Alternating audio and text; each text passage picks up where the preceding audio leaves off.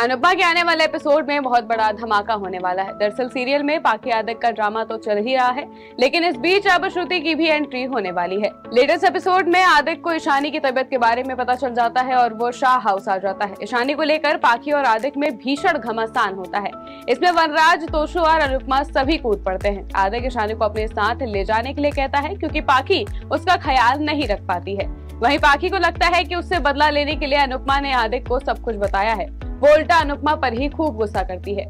बाकी वनराज से वकील को बुलाने और आदिक के खिलाफ ऐसा केस बनाने के लिए कहती है, जिससे कि वो एक रात भी सो न पाए। लेकिन वनराज उल्टा पाखी को ही सुना देता है। वो पूछता है कि तुम आदिक की हरकतों और प्रतिक्रियाओं को ट्रिगर करती थी। पाखी कहती है कि ये बाबूजी की वजह से हुआ है, जबकि वनराज उसे काफ़ी बातें सुनाने लगता है। लेकिन इस सबके पहले घर में हल्दी का फ़ंक्शन होता है, जिसमें सभी झूमते नाचते हैं और इस बीच अनुज अनुपमा के लिए गजरा लेकर आता है और कहता है की अगर तुम इसे लगाओगी तो मुझे बहुत अच्छा लगेगा।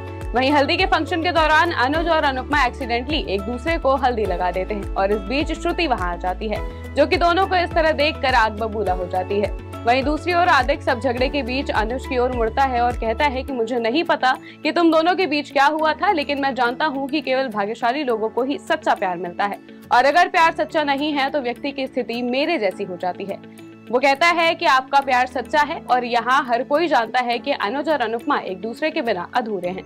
वो अनुज और अनुपमा को इसके बारे में सोचने के लिए कहता है और फिर वहाँ से चला जाता है। अब ये देखना दिलचस्प होगा कि क्या अनुज श्रुति से अपनी शादी तोड़ने का ऐलान करेगा या फिर अनुपमा के साथ दूरियाँ ऐसे ही कायम रहेगी।